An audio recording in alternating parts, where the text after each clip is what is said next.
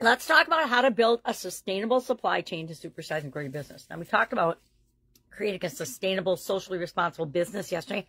And today I want to go a little deeper on that with respect to our supply chain. Now, I don't know about you, but did you have a business back in 2020 during the pandemic? If you did, raise your hand.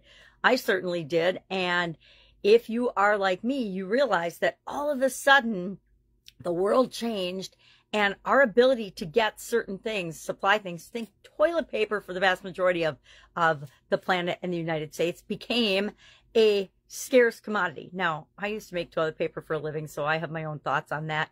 But that was my first job out of college.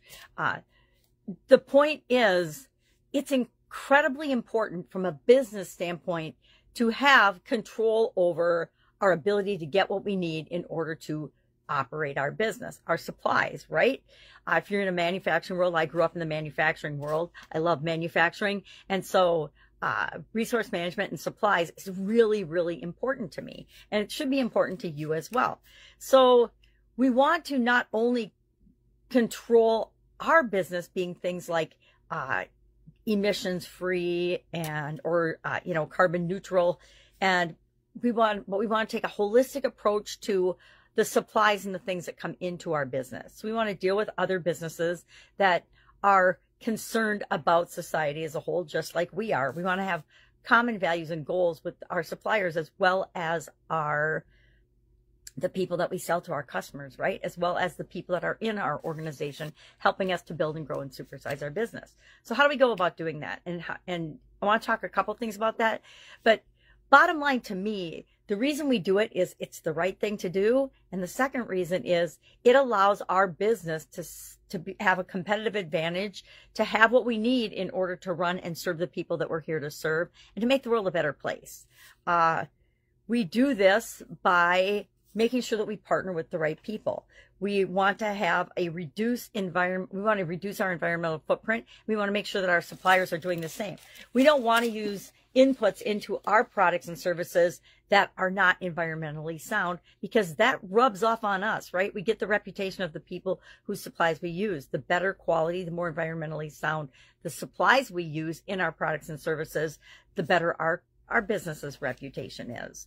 Uh, so we want to reduce carbon emissions, of course. We want to minimize waste. We want to uh, conserve natural resources and things. Uh, we want to promote social responsibility. We want to make sure that we are uh, using fair labor processes and that our supply chain is as well. That this also goes on to how we distribute our products and services as well, right? We want to make sure that uh, those things are sustainable too as well. So our distribution chain should be just as sustainable as our supply chain is. We want to make sure that we uh, promote workforce safety. Always been a big concern of mine. Uh, and I teach my children and my grandchildren safety first. There's nothing worth doing that's worth any of your digits or limbs or sanity or having an accident over. Uh, there's always a safer way to do something and do it the safe way. Do it the safe way in the first place so that you can do it again tomorrow or do it again. Uh, there's a philosophy in the world that I've grown up in that we take, make, and and dispose of things. If you've uh, ever seen any of these documentaries on plastic uh, floating islands and things, you know exactly what I'm talking about. We create so much waste and landfills in this country. It's mind boggling.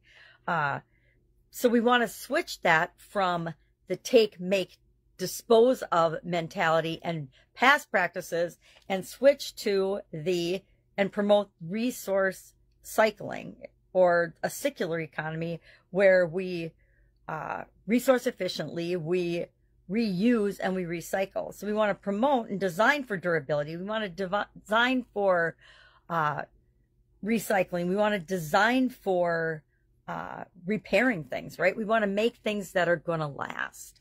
Uh, we want to have and keep in mind that upfront, it seems like doing these things seems a little more expensive, but the overall long-term costs and benefit benefit far outweighs the cost. Uh, we need to make sure that we're doing that in all of our decisions. We need to consider not just the short term, quick solution, but what are the longer term ramifications of that choice, that decision, that uh, project, etc. What are the long term positive and negative impacts of that, of everything that we do, right? And that sometimes feels overwhelming when we think, oh, I can't just solve the problem right now. I have to think of what is are the long-term consequences of that. But guess what? We've always had to do that. We've always had to be aware of the short-term impact and the long-term impact of every decision that we make as a business owner. So curious about uh, your impact or your questioning of your supply chain. Do you, and I used to do supply chain audits as part of my corporate role. And as I was getting into different businesses, we always interview our suppliers. We always find out what we need to know and what we can about their business because we want that to be a match for us, right? We don't want to do businesses that have different core values than we do because that negates our brand, that negates the good that we're trying to do in the world.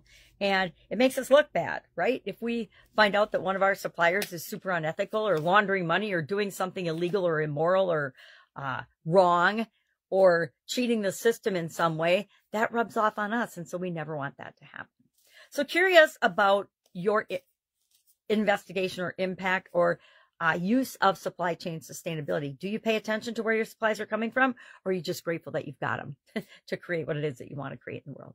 Share in the comments below so we can learn from one another and I will, of course, be with you tomorrow with another interesting business strategy, a strategy you can use right now to grow and build and supersize your business by enhancing your brand reputation, by reaching the people that you want to reach more readily, and by serving them to the best of your ability. All right. Have an awesome day. And I'll, of course, be with you tomorrow.